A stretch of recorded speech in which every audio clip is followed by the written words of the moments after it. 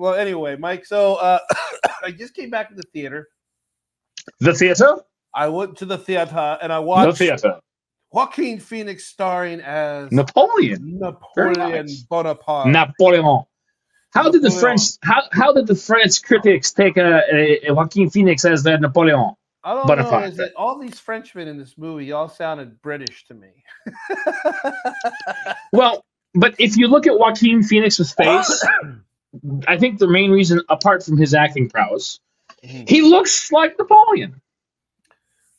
Um, well, Napoleon didn't have a hairlet, but um, I wouldn't say. I, I think he's a little tall for Napoleon. I think Napoleon was a bit shorter than him. You know, but but see that that's kind of the funny thing is that you know I was reading up on it a couple years back, and it's, apparently the, the it's it's a myth that Napoleon Bonaparte was very was very short. Hmm, it's a myth. How do we know? that? Yes. Well, You- it, it'd be easy to tell. Couldn't you just like X-ray his like grave? I don't know. And I don't, do they know where- measure- know where he's born, where he's buried. I would imagine somewhere in France. So let me tell you, this movie was was fifty percent about his relationship with uh, his wife Josephine. Yes. And, uh, I, I had read somewhere that there's a lot of historical inaccuracies in this film, so I couldn't tell you heads or tails which part were were real and which parts were just fiction.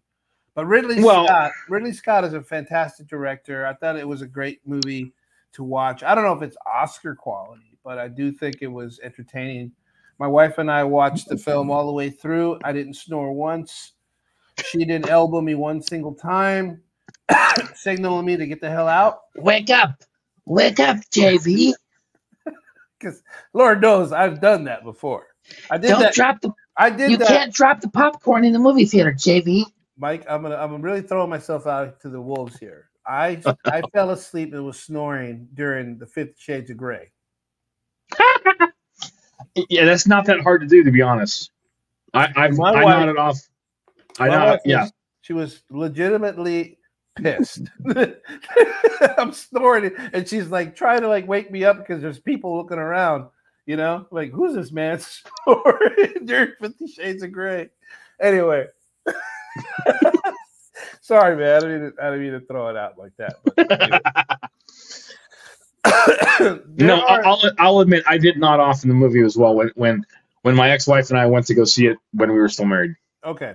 Now, speaking of that, in the film, Napoleon goes to Egypt with his army. And while he's in Egypt, he finds out through somebody that's one of his, you know, commanders or something, tells him that his wife took a lover. Yes, she was cheating on him. so he's like, well, screw this, and leaves Egypt and goes back to France, you know, to confront his wife about her affair. Right. I mean, here's a man who, I, I, I look. I don't know how you would react to something like that. Clearly, the man has a huge ego. So this was this was already they were making comic, you know, like uh, drawings, you know, com, comic strips of it on in the in the in the French newspapers. But So- don't you want that for the emperor? No. Someone with a huge ego? he probably felt humiliated by this, but rather than Well, yeah. like, but rather than divorce her right then and there, you know, because I to me that's like a red flag. But I call me crazy, but he didn't. He forgave her. So so wait, so are you saying that Napoleon could be the the alpha simp? I don't know how how the, I. He was definitely whipped. There's no question about that. I mean, this woman had him wrapped around her pinky. You know, Yeah. So so so was he was he the Genesis simp? I mean that you can make an argument, but I'm sure they existed before him. Sure But he was he would have been the first, the most powerful man in the world. the most powerful, the Pierre.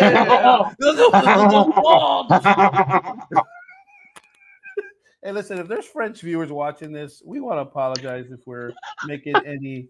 Uh, Do we though? Do we though? We're making some stereotypes, stereotypes here that, and, uh, and uh, Mike, you and I will not do it again.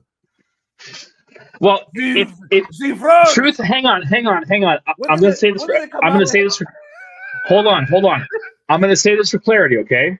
I am mocking Monty Python, Uh, mockery of the French. uh, Just You so we're clear. Kamala Harris wasn't it Kamala Harris that was in France and said it's Z plan, you know, Z plan. uppercase T, uppercase P, the plan. And then the environment is such that we're expected to defend the plan. I'll clip it in. Oh God. Z plan, Z plan. this woman is this woman's out there, man. She's out there. Did she find the root cause? I, I I think she found the root canal in her mouth, maybe. Well, You know, I, I think I, I think I know where the root cause of the current mockery of you know American government is. see, this is the thing It has the initials K and H, because you gotta, if you look back in time during Napoleon's day, you know, and he and everybody was making fun of him. But see, the French are very forgiving about that sort of thing. You know, I, I would think that they're more socially liberal about that. that, that sort Well, yeah. thing. So they probably didn't make such a huge deal about his wife's affair as American public would have done back in those days. But that aside, um, uh, he was not without ridicule in his country, even though he was probably, arguably, one of the most powerful men in the world. Mhm. And then you take the president the United States currently, um, and he, the man is just an absolute buffoon. I mean, why? I, I, you know, it's it's so funny because the media will cover for this guy. You know, they didn't do that for for Napoleon for sure, uh, and I would think for maybe a, a number of other presidents in this country and even in other countries, the media wouldn't cover for them. But for, Well, for but, but reason- journalists journalists are supposed to keep a you know a, a leader in effect in check, right? Mhm. So it's it's natural to some degree to have you know the the the, the national media kind of like be it a hedge against a overpowering you know leader, right?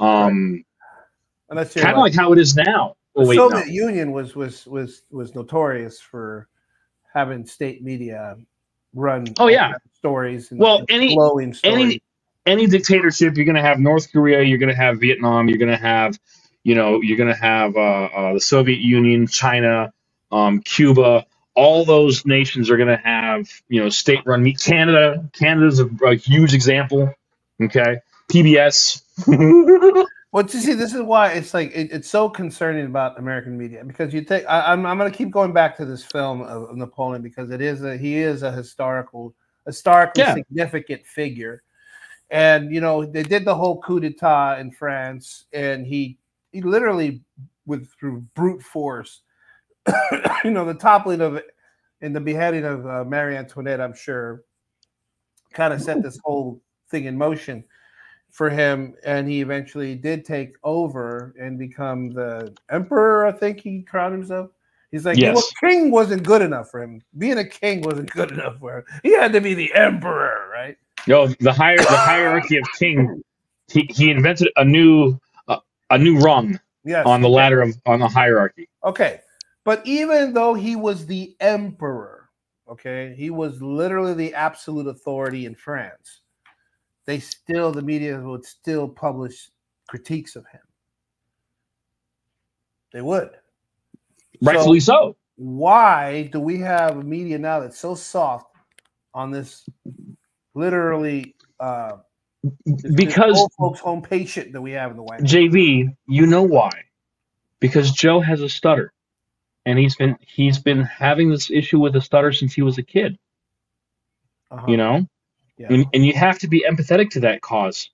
I mean that that that's a big deal.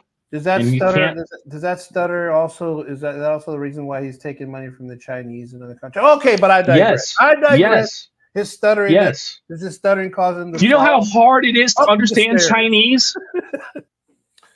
And on that note, Mike, I hope we earned your like. I know this was kind of a, a whole tangent of a of a of a story, but I did want to I do want to encourage people to watch Napoleon. I really do think that it was a, a good film. It's a little long. It's a little over two hours long. Um, but I, I thought it was I thought it was a very well crafted uh, movie. It seemed like it seemed like it jumped around a little bit here and there, but it's kind of hard to fit. You know, Well, I mean, worth of- Ridley Ridley Scott does good movies. he does good movies. That was a good movie. Yeah. I Yeah, not- yeah. I'm glad I spent money to see that movie, and not some other trash. For We sure. hope we heard your like. Please hit that like button, subscribe if, to the channel if you haven't done so already. Share this video with others. Mike, it's always a pleasure. Stick around. Always. We're gonna, stick around. We'll do another one right after this one. Yeah. We'll All right. catch you on. We'll catch you on the next time. On the next one, and until next time, We'll be back after a word from our sponsors. God bless. New Kingdom Radio Theatre.